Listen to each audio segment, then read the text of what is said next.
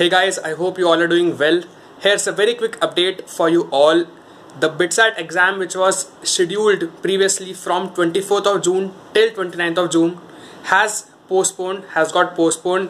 Point to be noted, the BITSAT exam has got postponed and as of now there has been no mention of the new dates and the even the application process as i told you in my earlier videos that the application process would be extended to much later dates. So now you can apply and fill the bitsat form by 30th of june. So if the form itself is being filled till 30th of june i'm not expecting the exam anytime even in the month of july. So i'm expecting it maybe to occur in the first week of august but but let's see. But the good thing is that it's finally postponed and we have got a lot more time to prepare and nail BITSAT. So all the best, stay home, stay happy, stay focused. Jai Hind, Vande Mataram.